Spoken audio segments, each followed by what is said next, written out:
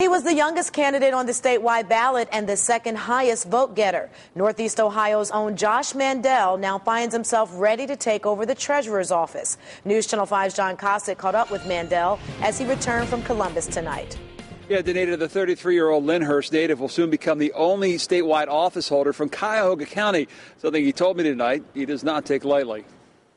We're excited. I mean, uh, Josh Mandel gets the chance to do something tonight he hasn't been able to do much of lately relax at home. Uh, we've traveled uh, to 83 of the 88 counties, uh, put over 110,000 miles traveled around the state, and that's to match the uh, 19,679 doors I knocked on when I ran for a state representative here in the Cleveland area. His pavement pounding efforts have landed him the job as the 48th treasurer of the state of Ohio. I think it was around 11:30 uh, or so last night when we uh, realized that we'd actually won the race and uh, it, it, was nice sharing it with my family. Uh, my wife was there, and my parents, my in laws. A decorated veteran of two tours in Iraq, Mandel spent this long campaign not only talking to voters, but listening to them.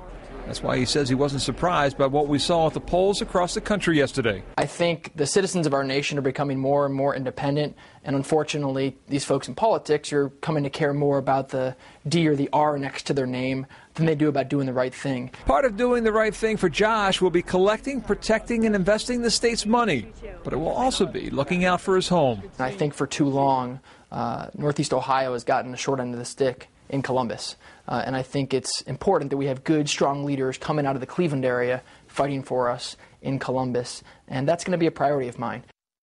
And a final tally of the votes showed that Josh had more than 2 million votes in the state. That was second only to Rob Portman, the U.S. Senate winner. Josh is going to take a couple of days off and then begin the process of reviewing the office. They'll take over in January. Reporting live at the Board of Elections, John Kosich, News Channel 5.